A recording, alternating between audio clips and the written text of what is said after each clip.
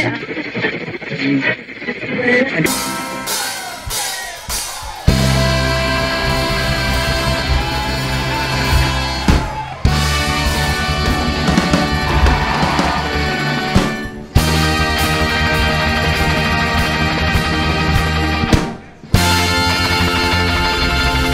honored to win this award.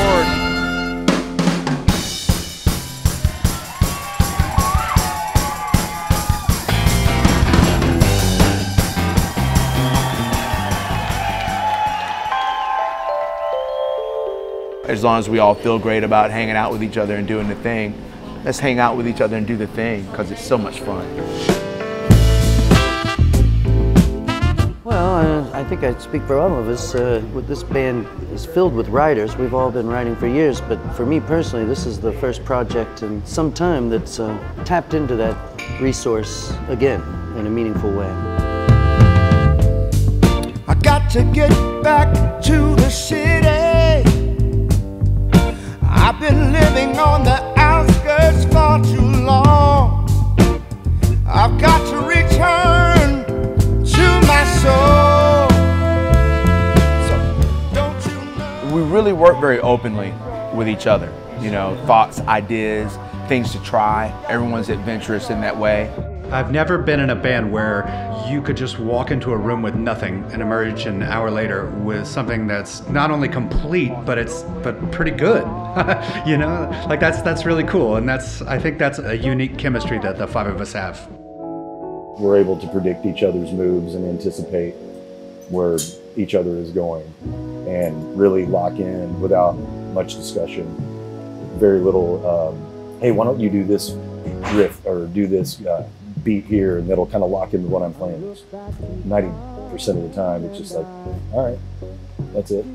the cohesion between all of us i think is really like is really great i think it stands out to an avid music listener in the audience and a random listener would notice how tight we seem to be whether you know a whole lot about music or not Let it out and let it in. Say, whenever you're in that room and somebody starts on a riff and it just starts kind of snowballing into this thing and everyone's feeling that energy, there's absolutely nothing better. I mean, that's just the most beautiful thing. We can go from one person writing a whole tune to a partial tune and bringing it to everybody. We complete it or tweak it to everybody's in the room together and we had nothing when we walked in except for love for each other and then poof, we've got two or three songs almost completely fleshed out.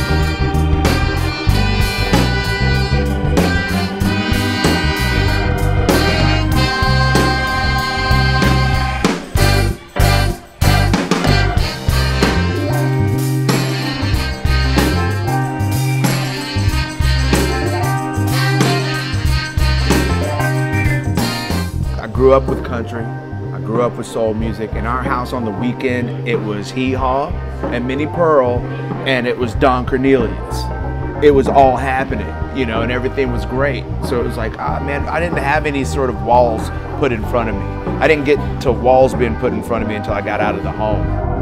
I just feel like everyone's coming at it from a slightly different angle, and together, it's it's it's really pretty special. I think. There's so much subtlety and so much taste in the arrangements of of the great soul guitar players and bands that I want to do that. I wanted to deconstruct it.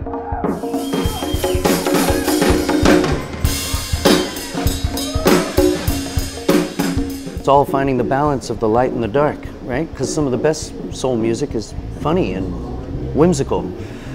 You know, you want to make them cry and then cheer them up.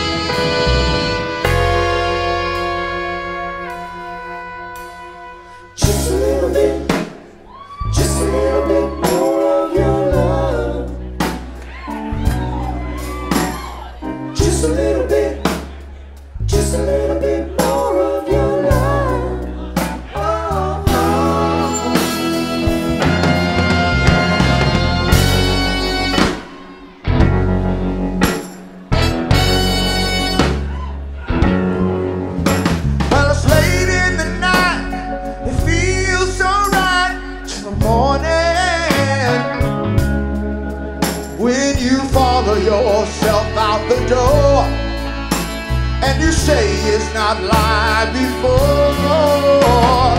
How can you know? You come and you go, it's fading as the tears that darken your eyes fall away and you feel like.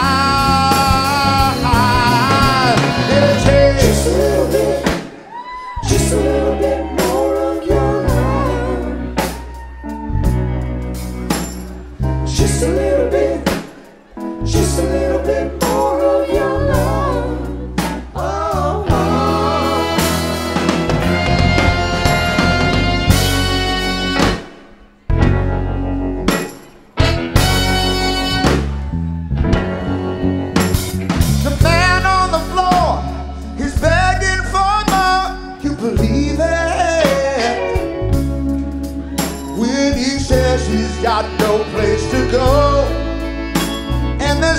one that he'd rather know. So I'm on his knees, but he's down on his knees. Is he praying?